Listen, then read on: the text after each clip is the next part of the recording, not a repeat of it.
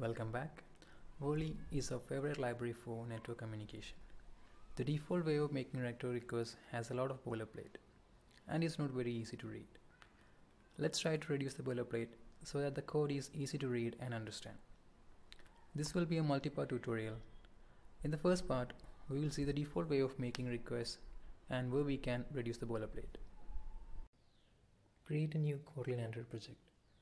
Open its layout file drag and drop a text view and change its ID to text view URL.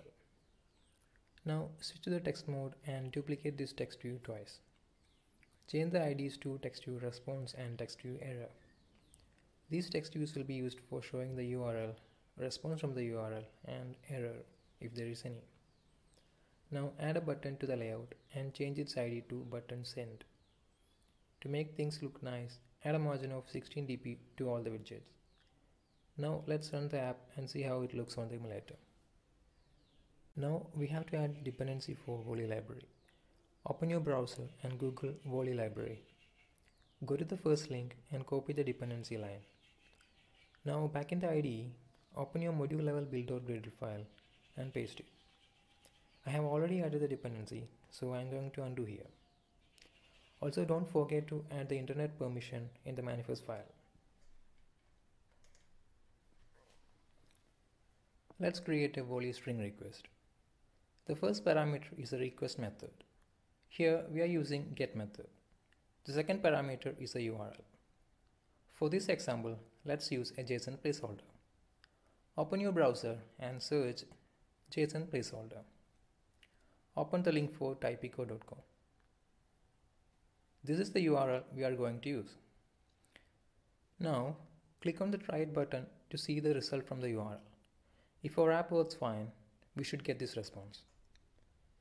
Back in the IDE, paste the URL. There's two more parameters for string request. They are response listener and error listener. You can see in the opening curly brace for response listener, it returns a string. We can get the result using the keyword it, or we can change the variable name to something meaningful. Similarly, error listener returns a volley error object.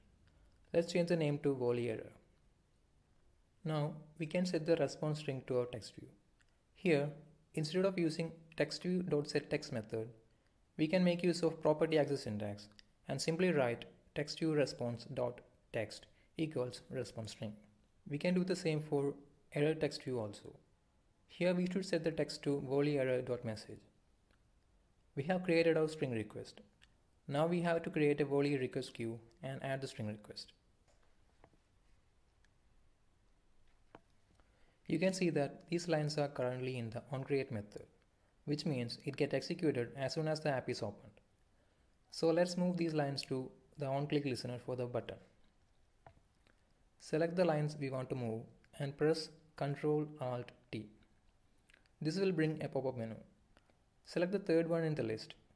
That will enclose the selected lines in a curly braces. Now type button send dot set on click listener just before the opening curly brace.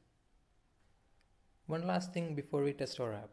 We can declare the URL as a field in our class and refer it in the string request. Instead of doing this manually, simply put the cursor anywhere on that URL string and press Ctrl Alt F. From the pop-up menu, highlight our URL string and press enter. Now the IDE is asking where to move this code. Select main activity. Now change the name to URL there's a text view to show the URL. So let's set this URL field to that text view. Now let's run the app.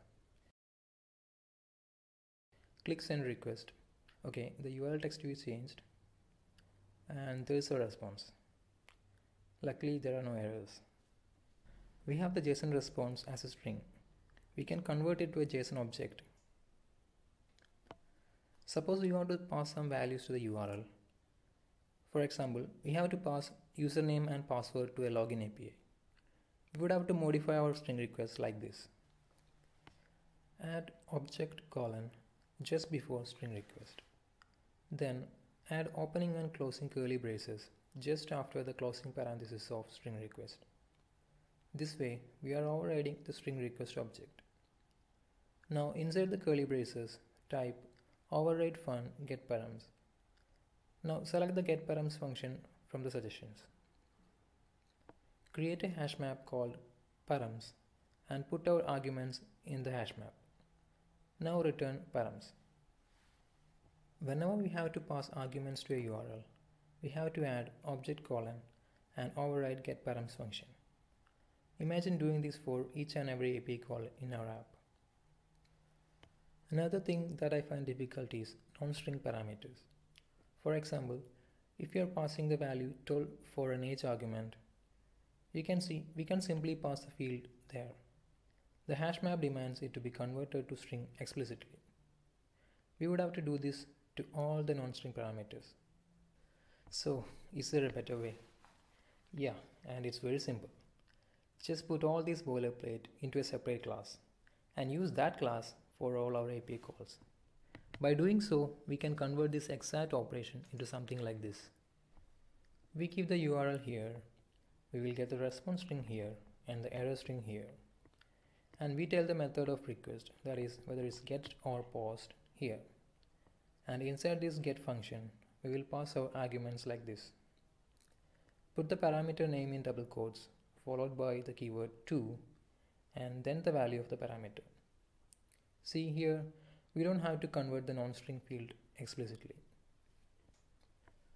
We can give parameters of any type and it will be converted to string within our dgRequest class.